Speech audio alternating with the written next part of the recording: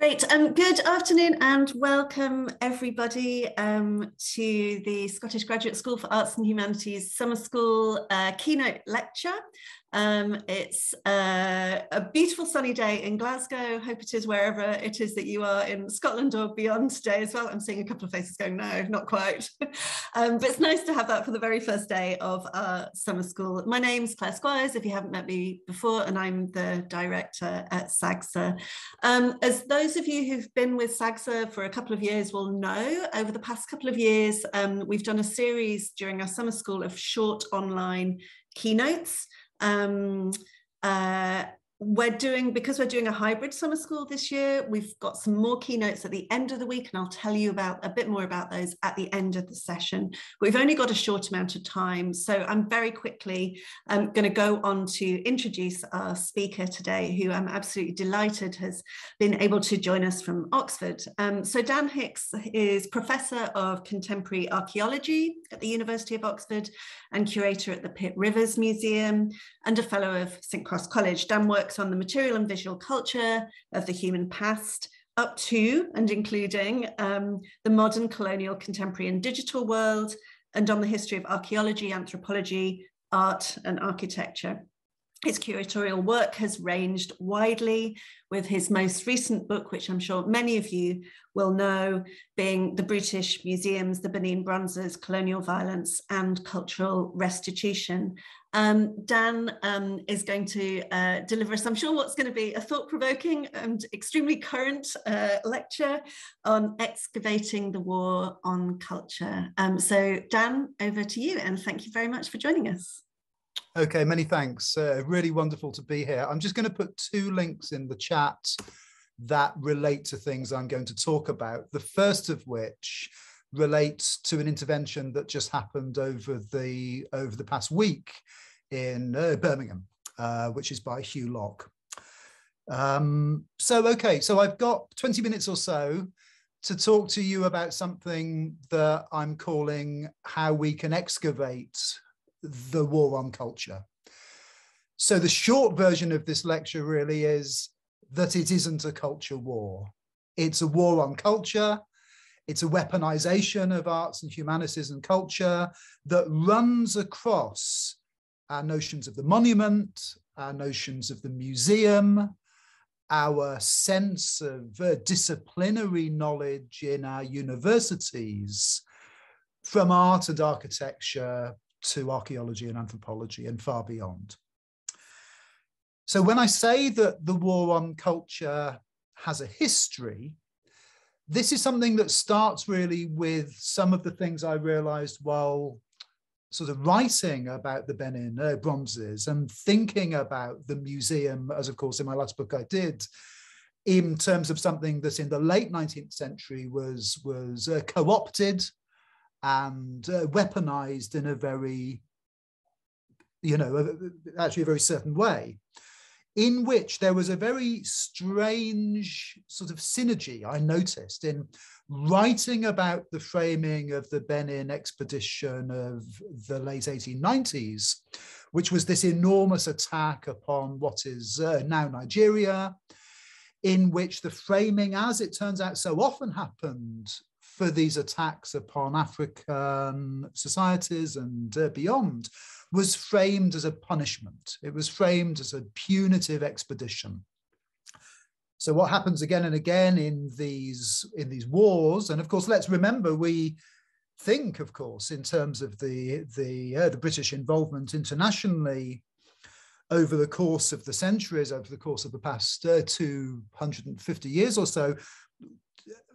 You know, actually, we think of the UK on the international stage, maybe in terms of abolition and emancipation in the early 19th century. Maybe then we skip through, actually, maybe we think about the, the Crimean War a little bit with everything that's happening at the moment. But then really there's this sort of gap until we get to the First World War and the Second World War. We have this immense Queen Victoria sized gap in our, our popular historical consciousness, in which, of course, the story often is almost that we sort of won abolition, that it was a success, that this was a victory, this was a positive thing that the British did. Certainly, I think when we got the 200 year anniversary of 1807 back in 2007, that was the missed opportunity there. That's, that's how things ended up. So, abolition, emancipation, often all, also simply celebrated, not understood as a part of,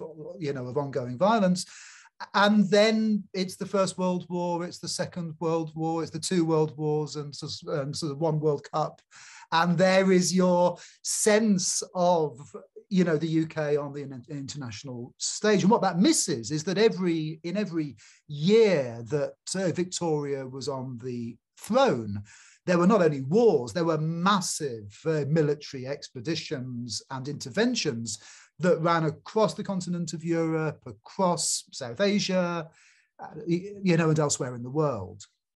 So many of those attacks, as I say, were framed as a punishment. That notion of the punitive expedition, where some infraction, maybe the continuity of slavery in some cases, maybe the killing of a small number of uh, white men in others, were used as the justification for reprisal and that logic of reprisal so often reoccurs, of course, over the 20th century from Kenya to Northern Ireland. Um, and so what you end up with, of course, then is a sense, though, as, as, as I was writing about what I call in the book that sort of white projection, the projection of your own violence upon someone else. We you know, the logic of the punitive expedition is look what you made me do. But that pathology, very strangely, I started noticing in the cultural sector as well.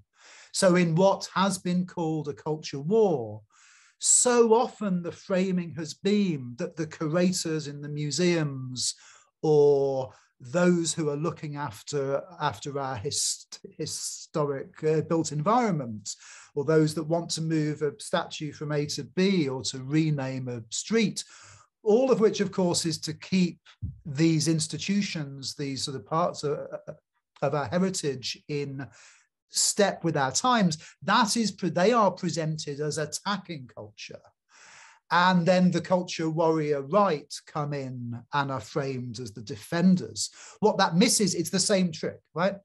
In fact, we are starting, I think, as a field to recognize a very distinctive horizon from the late 19th century into the early years of the 20th century, where a war on culture, the weaponization of arts and culture, was put to work very specifically for the purposes of a cultural supremacy.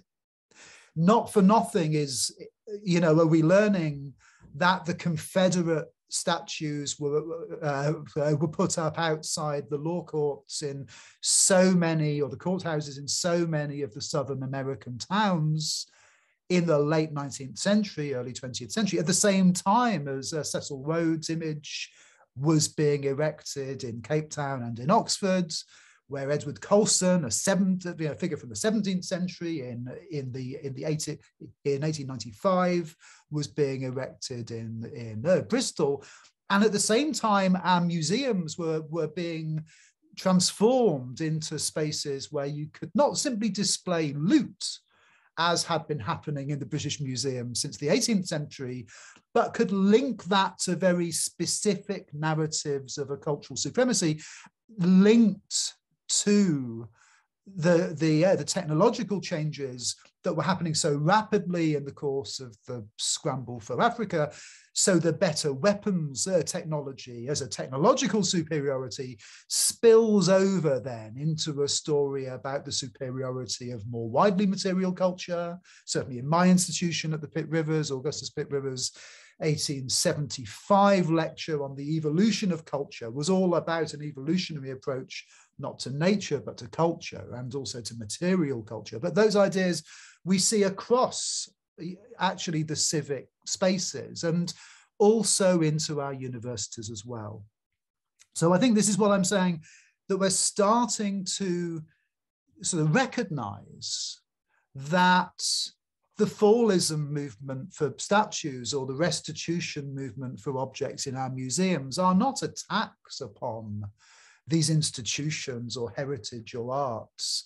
They are responses to an attack that has already happened in the in that late 19th century and uh, you know and that is actually continuing in the sort of in you know in into the present so the link that i've uh, given you there um, to the piece I just wrote in Hyperallergic about an intervention in the centre of Birmingham with a statue of Queen Victoria erected in actually 1951 as a replacement for a marble statue that was erected in uh, 1901.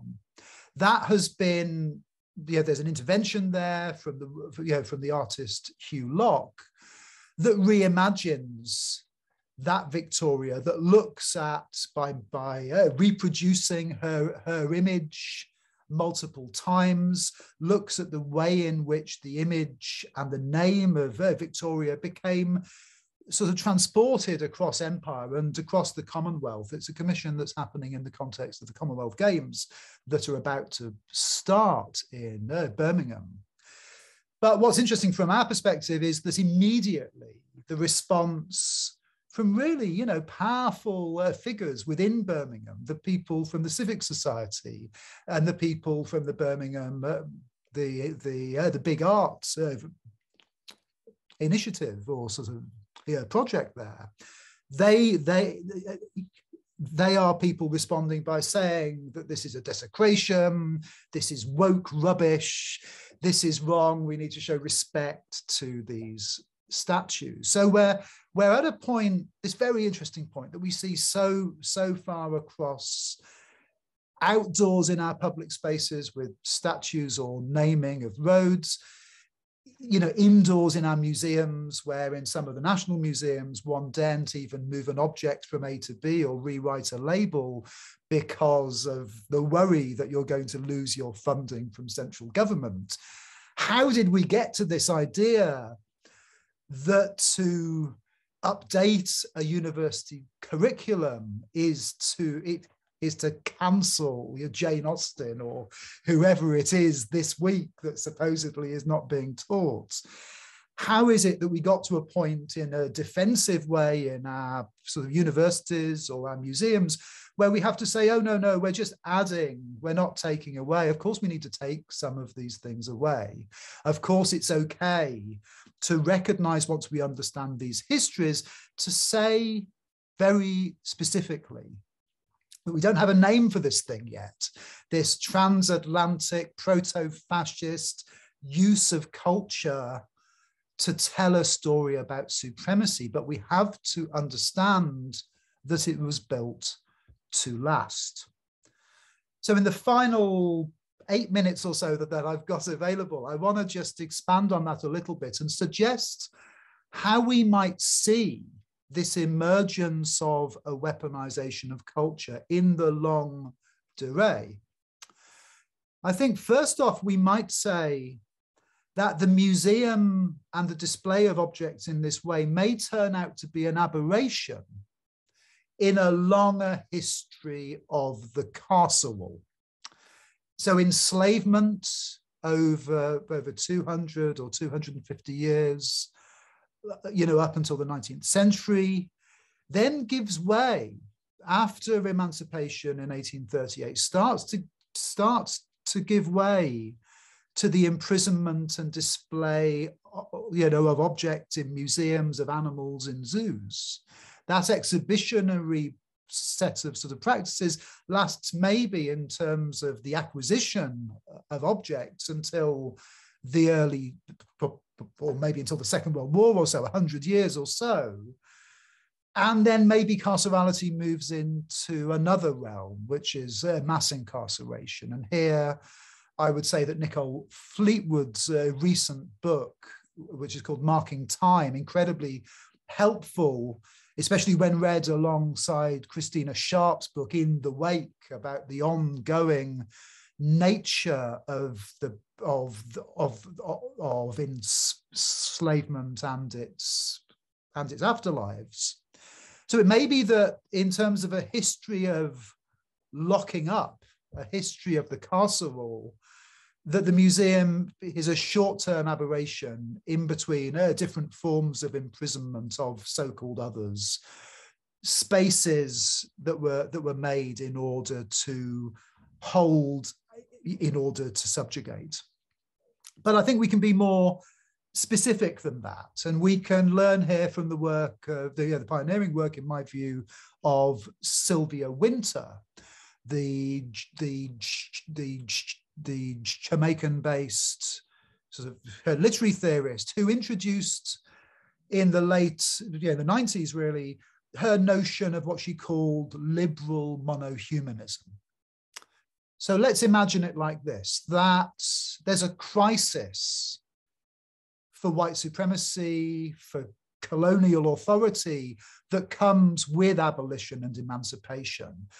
Part of the response that we're very aware of in anthropology is a biological, a, a, a, a fake science response that started to write human superiority into human difference in terms of the biological.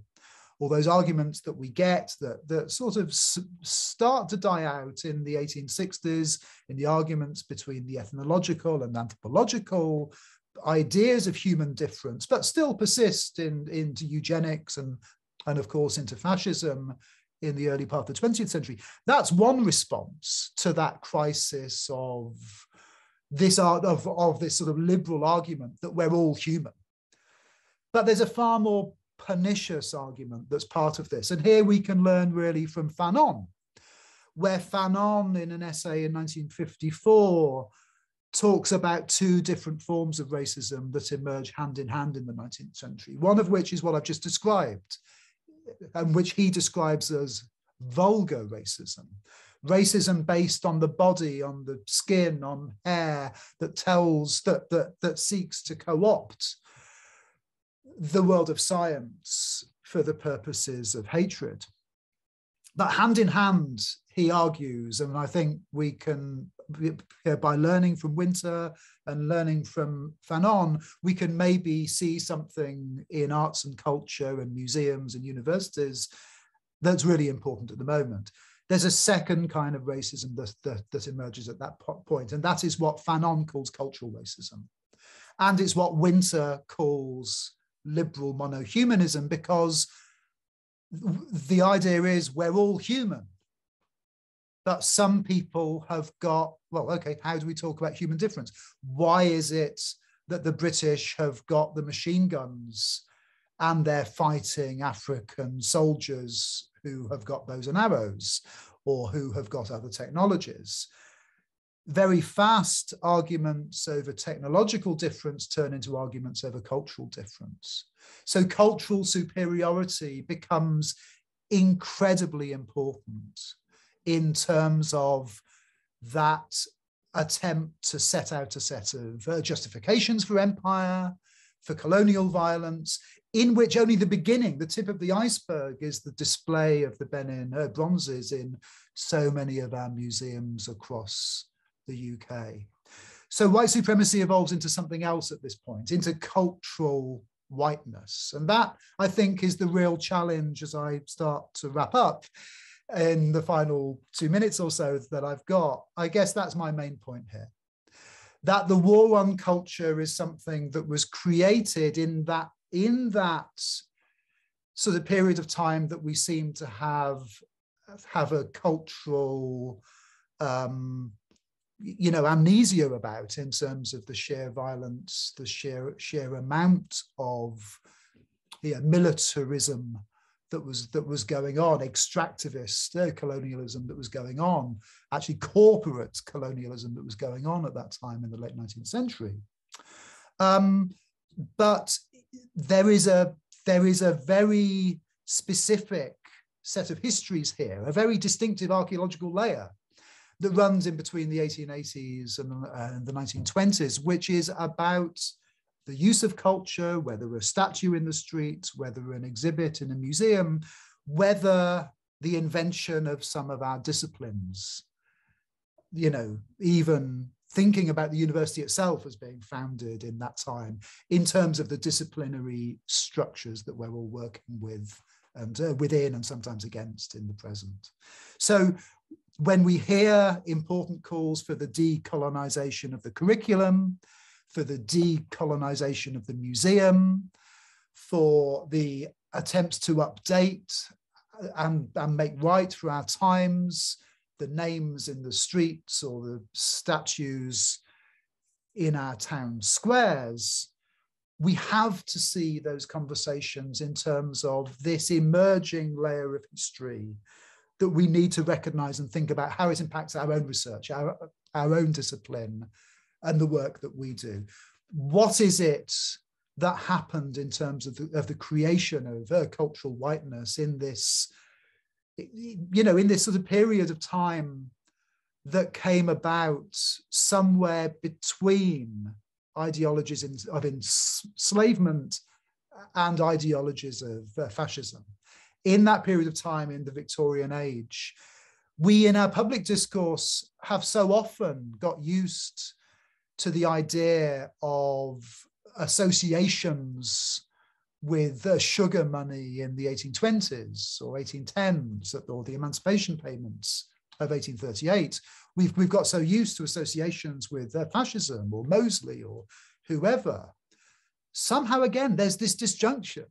It's like no what these things are completely unconnected, um, whereas of course they are. And you know whether we read uh, Césaire or, or whether we read Hannah Arendt or whoever we read on the on the complex uh, histories as we move in between ideologies of imperialism you know into ideologies of of, of uh, fascism in the in the 20th century you know we we we have to look at the the uh, the jam in the middle of that sandwich we have to look at what is what is going on in this time period which is a set of histories that are still with us. The final point then, then sort of being that the reason that culture was put to work in these ways the disciplinary creations in our universities, the statues in the street, the exhibits in the museum, is that they're incredibly hard to change. That's the whole point. How can an artwork be hurtful? How can Shakespeare or Austen be in any way anything other than wonderful and things we ought to support? How can a statue be something anyone would be upset about? That's the point, right? These are these these are very specific worldviews the things they carry with them are still with us in the present. Recognizing them, whether in, in the form of an idea or whether in the form of an object, is a major part of our challenge in the in I think across the arts and humanities in the present. So that's my very fast attempt to convince you that it's not a culture war, it's a war on culture, and that we need to excavate that war on culture to think about its origins and think about its endurances. So thank you very much.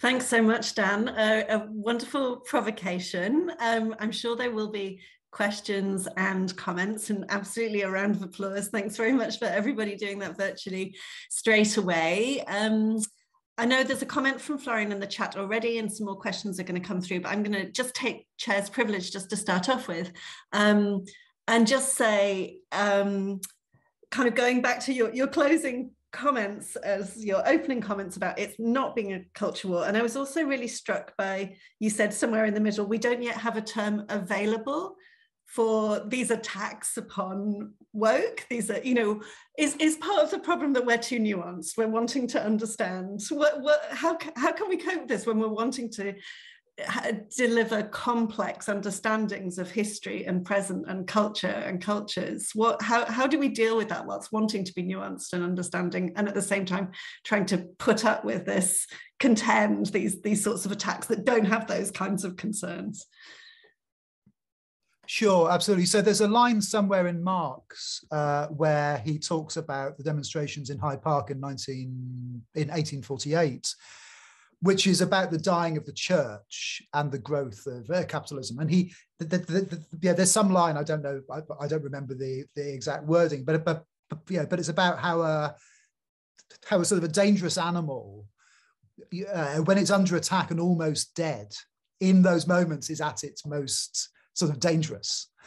And I think that's what we're seeing now to certain forms of sort of cultural whiteness that have been hardwired into civic society, hardwired into disciplinary thinking, hardwired into exclusionary spaces, which range from higher education to the arts and humanities and heritage sectors. And that's why you've got the creation of these really marginal groups, but but they get incredible coverage in the right wing press or wherever, and from uh, conservative MPs and so on, that are really you know in what of course something that's fundamental to a certain form of power that still is important in the present is under attack and is dying out. I think once we see these patterns of culture we can't unsee them. Um, there are so many sort of positive things we, we can do that are happening in, in a lot of our sectors in terms of the positive action initiatives to start to diversify our sectors in terms of the action to take apart physically some of the hurtful structures or displays. But yeah, we have to, we also, I think, intellectually have to be ready to understand these histories. And I think we do need a name for it. It isn't, I mean, I don't think it, it, it isn't exactly proto-fascism. It isn't exactly some, yeah, I mean, I guess it's a form of white supremacy, but it has a very, that, that that's, that's a very early 20th century phrase for something that has this sort of long 19th century history and that changes over time. And absolutely, I mean, to agree with the comments from Florian there, absolutely. Ab- abolition and emancipation. There's a kind of intellectual crisis there which is which is resolved.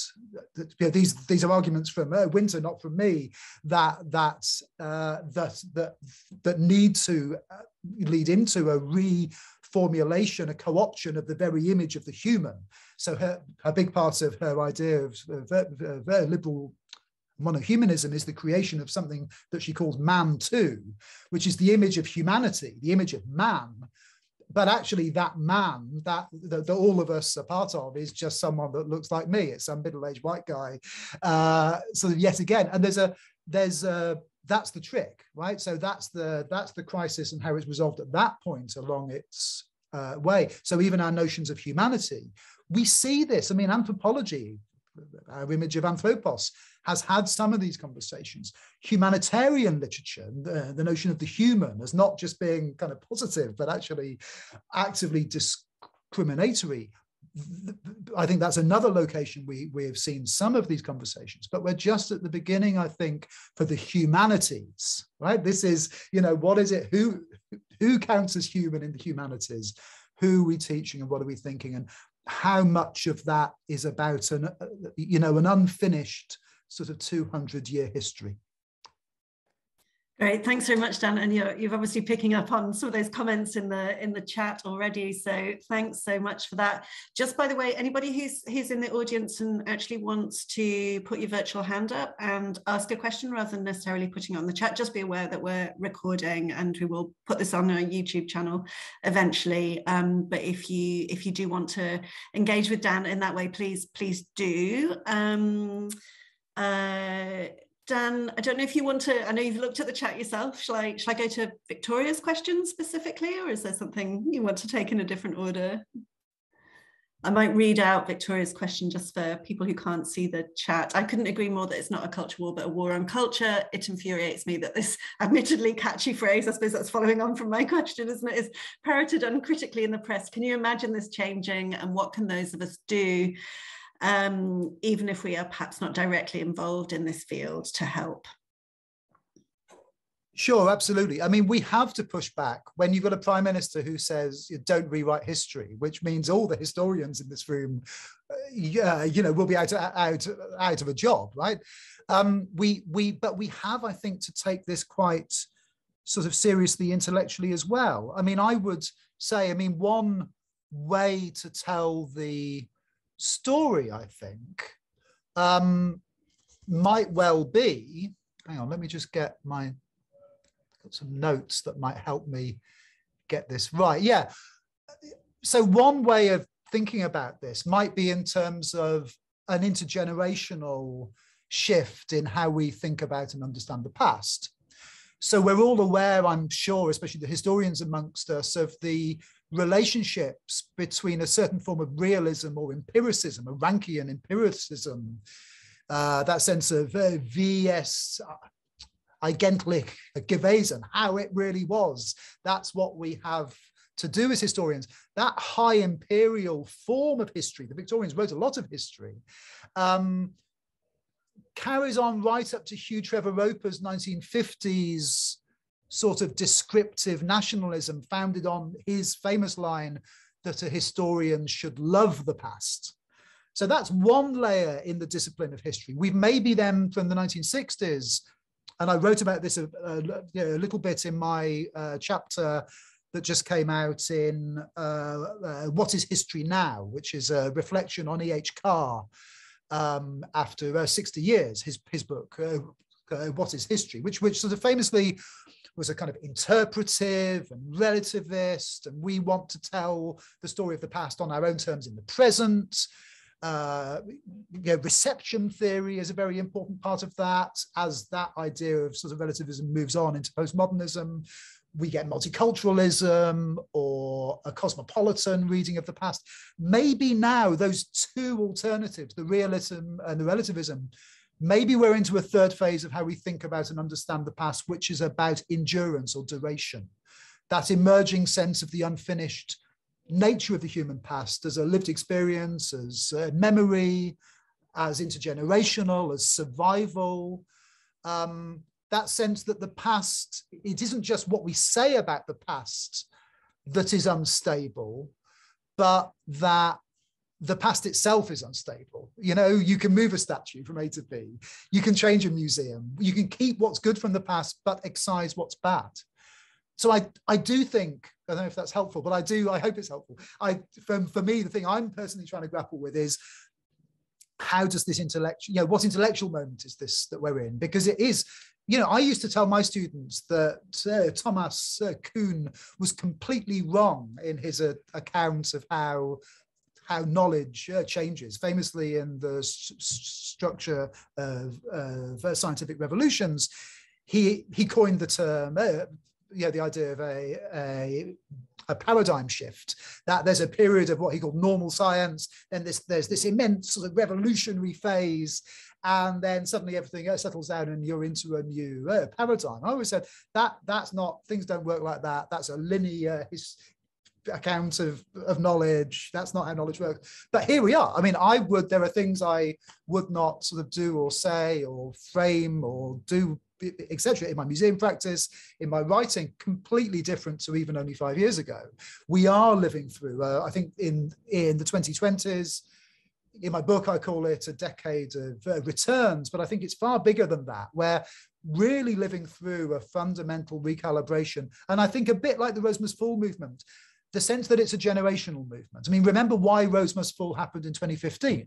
It was because apartheid had been had been ended supposedly in in uh, 1994, but there at the campus at, uh, at uh, UCT, there were students who'd been born after the end of apartheid who were 19 years old or 20 years old, but were still experiencing racism on a day to day basis. So the argument there was look, at the heart of this campus, there's this massive, you know, massive sort of monument to apartheid in the form of an image of uh, Cecil Rhodes, the diamond miner, the mass murderer, the intellectual architect, arguably, of the color line, and so on. So, of course, removing that in a physical way is a key part of it. If you know, if if art and culture didn't matter, if all of this was some distraction from the real work of anti-imperialism, anti-racism, and so on, then these people wouldn't have spent all this time making this infrastructure. So understanding white infrastructure in those ways, I think, is, inc is incredibly important.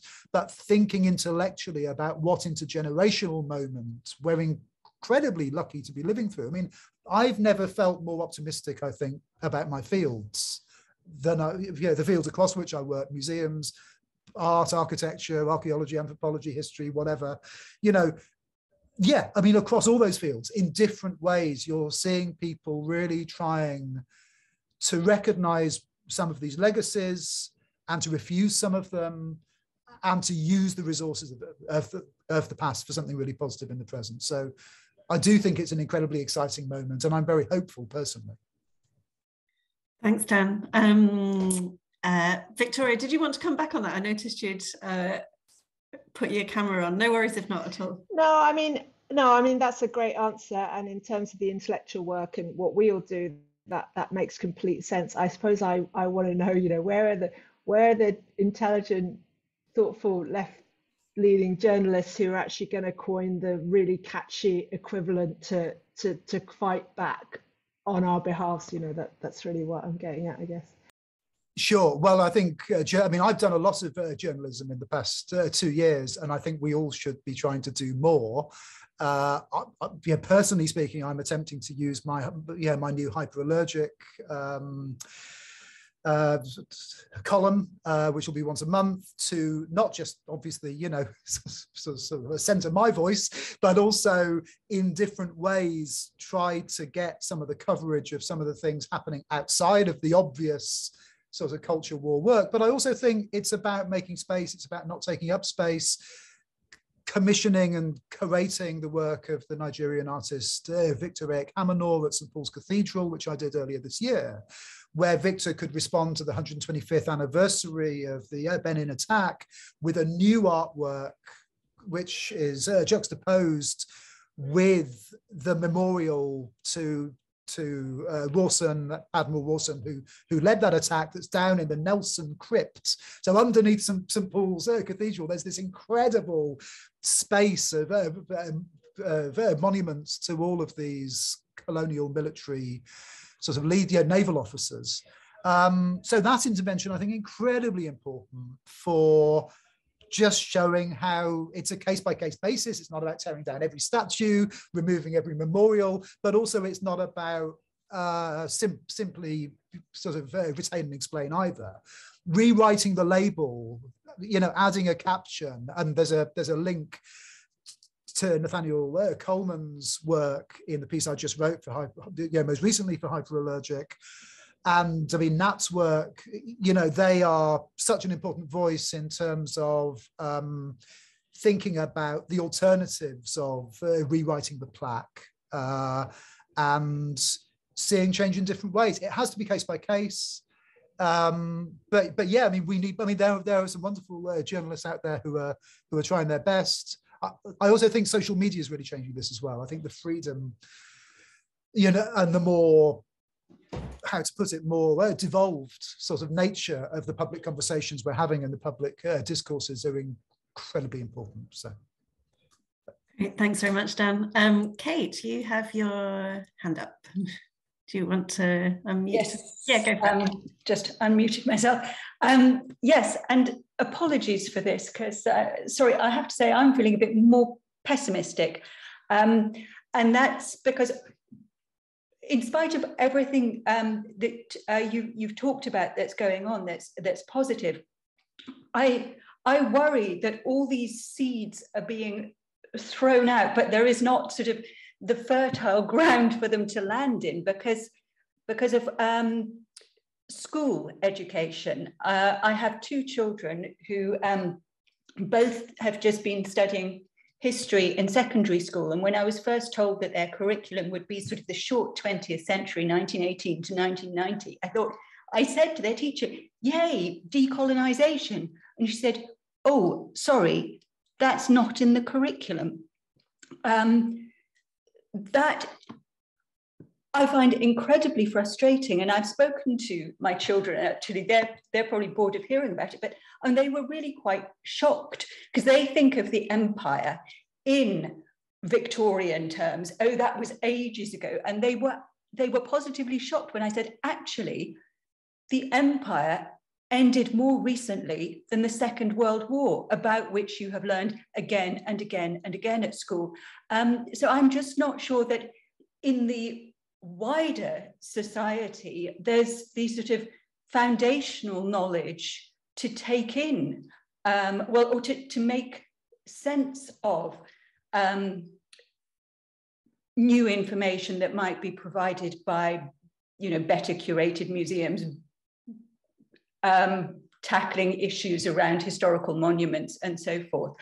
Uh, so uh, that on that side, I'm rather pessimistic. Sure. On one note of optimism, um, Victoria, I think it was, talked about journalism. I'm a huge fan of Gary Younge. Um, used to be of the Guardian, now at Manchester University, but I'm really glad to say is still very much on the um, public outreach side. I think he's fantastic. So that's my positive conclusion. okay, thanks. Yeah, yeah, and absolutely. I think, I mean, I think, I mean, the positive side for me in some ways is that our museums, and there are other examples of this in our universities, are the public spaces for some of our disciplines that we're talking about here. So there is a potential to think about the public realm and the public space in different ways and to sort of make these narratives. But no, I mean, I think on the pessimism, yeah, you know, we have to recognize that there is a kind of history writing that takes away history, that hides history. There's a kind of, there's a, there are some statues that are designed to stand in front of another thing we could be looking at mm-hmm. and to distract us. Um, think about, I mean, we have a prime minister that has written a, a biography of, uh, Churchill and threatens to write, you know, write one of Shakespeare. You know, I mean, that, that kind of, again, I mean, back to Hugh Trevor Roper, that kind of history that's you've got to love the history that that yeah that you're telling. That has to shift. Schools are central, but I am optimistic that in, in higher education we continue to be the spaces that can start to set these agendas. There's such an appetite among the teachers I talk to and the schools groups that I I speak to and so on actually to engage with with you know, with these issues you know, with these issues, but they need us to be writing books and writing uh, doctorates and researching the topics that open up a space that has been actively hid. These aren't histories in the same way that have been hidden in the direct way of the idea that the British famously you know, burnt all the documents, you know, after empire. But they did other things that hid or distracted or dressed up in different ways. And I think that that is sort of part of it. I also think what is it we're opening up? I mean, we can talk about, I mean, we could go to Michel-Rolph uh, Trouillot's fantastic work on silencing, his notion that, that in his book, uh, Silencing the Past, where he talks about, about mentions and silences. So history writing is not just about what you mention, a silence is actively made in the same way as a mention, and an omission is, is we have to treat an omission as the same way as a statement. And he has this wonderful line that silencing the past is like uh, silencing a gun. Um, but equally, we can say that the removals, the making up, making up space on a, a curriculum, on a reading list, or removing a statue or renaming a building that can not only open up, I think, negative space, it can open up uh, what Mbembe has called a negative moment, in that, uh, like a space of time. And I am really, I mean, we could this this could go, we could this moment we're living in, absolutely, we could we could miss all of the opportunities that are in front of us, like we did in 2007 for the 200 year anniversary of, of abolition, where, where, of course, under a Labour government, over, under uh, Gordon Brown, with his agenda of the British, actually, oh, come on, let's just be positive about the past. Let's celebrate, you know, abolition in this way. We missed that opportunity. 15 years later, we're at the beginning, I hope, of a decade where there is a new generation, both of sort of my age who are who are teaching in sort of middle age in the universities that have lived a very different life in terms of our cultural refer uh, reference points of the Berlin Wall falling, of our relationship to empire and so on, but also of a new generation who have just, yeah, time's up for so much of the stuff that's been, you know, that's been part, part of how we how we frame things. And so, sorry, to answer the question there, it wasn't Achille Mbembe who wrote uh, Silencing the Past, it was uh, Trouillot, Michel-Rolph uh. But I also mentioned Achille Mbembe, who I very much uh, uh, encourage everyone to read as well. Great, thanks very much. Um, talking of times up, we are at the times up time, I'm afraid, in very awful pragmatic ways. Um, but I just wanted to mention as well, because Ruth's really interesting comment in the chat there about their work um, on uh, games and white supremacy within it and thinking about canon as a concept as well um, and establishing space I thought was a really really interesting intervention to absolutely. It, and so if I can say one final yeah, thing really quickly. If some of you have to go that's absolutely fine but Dan if you're happy to respond yeah. please please so, do. and so really really fast simply to say that this has this has to be about a moment about recognizing cultural whiteness. It has to be, I think, there is a really central role um, for the whole of the academy in these conversations to, to be looking at as ourselves, at our disciplines, at the narratives that we tell in something very different to a 90s reflexive way, a self awareness that was there 30 years ago. We need to be more than reflexive because being self aware is not what this is about. If it's not hurting, then it's not working. We need to be undermining ourselves in very real ways in terms of in terms of cultural whiteness you know we need to be really thinking about what space we open up so that other histories, other ways of seeing, other forms of knowledge are, are able to able to come in. So thank you.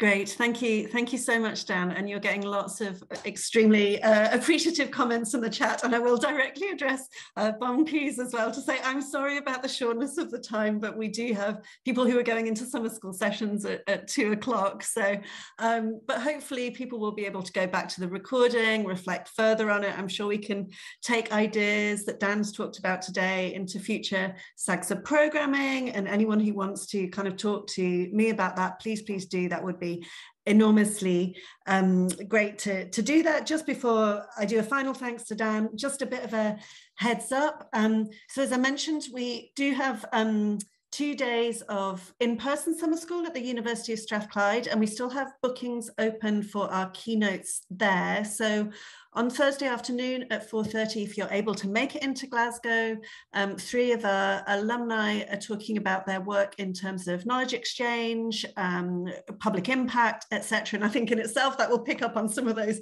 what do we do as academics when we're, we're trying to talk to the rest of the world? So SGSAH Publics Platforms and Performances is happening at 4.30 on Thursday.